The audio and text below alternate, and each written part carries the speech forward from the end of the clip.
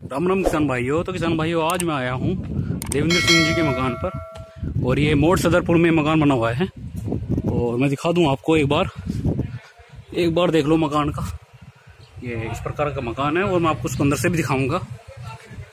तो भाइयों, बहुत ही शानदार मकान बना रखा है इन्होंने। और इधर देख सकते हैं इनके परिवार वालों के मकान है यहाँ पे। तो एक बार देख लो भाइयों। ये इनके परिवार वालों के मकान बने हुए हैं यहाँ पे। और मैं दिखाऊँगा आपको। इसके अंदर ले जाता हूँ मैं। और अंकल जी को बैठे हुए हैं यहाँ पे। और देख लो, ये इस प्रकार का मकान है। तो देख सकते हैं भाइयों, बहुत ही तगड़ा मकान बना रखा है इन्होंने।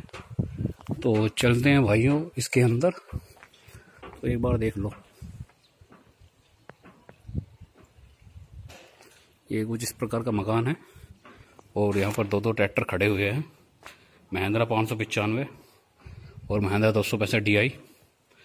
और देख लो, यहाँ पे बुलेट खड़ी है और एक मोटरसाइकिल भी है। तो दिखा दूँ मैं आपको कृषि यंत्र वगैरह रखे हैं इनके। और ये देखो भाइयों, बहुत ही आलिशान मकान बना रखा है और मुझे बहुत अच्छा लगा। एक बार देख लो आप। यहाँ पे कृषि यंत्र वगैरह रखे हुए हैं इनके। तो एक बार देखो दोस्तों, मकान का नक्शा देखो, कितना शानदार बना रखा है उन्होंने और ये जिन्ना जा रहा है ऊपर। ये देखो कितना बेहतरीन जिन्ना बना रखा है। और यहाँ पर गाड़ी खड़ी करने का बना रखा है भैया ने तो मैं मिलवाता हूँ भैया को आपसे। वो देखो भाइयों, इनके परिवार वालों के मकान है सामने।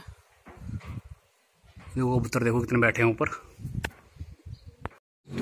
तो देखो भाइयों यहाँ पे इनके पशु वगैरह है। गाय गाय पाल रखी है। अच्छा सारी दूध दे रही भाई भैया ये?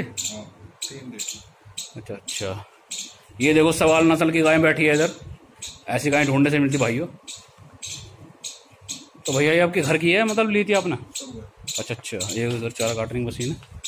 तो लगा दो भैया ये इनका पशुओं का हो गया। और मुझे घर बहुत अच्छा लगा इनका, ये घेर जो बना रखे हैं इन्होंने। तो किसान भाइयों, चलते हैं इनके मकान पर।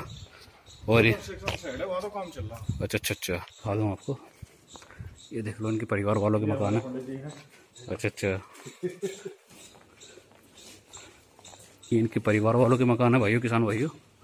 और मैं दिखा दूँ आपको इनका जो मकान है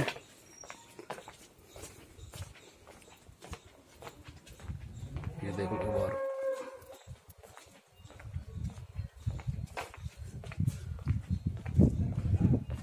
अच्छा ये है क्या सामने? अच्छा अच्छा। तो भाइयों ये भैया का मकान है और ये देखो इधर काम चल रहा है इनका थोड़ा सा।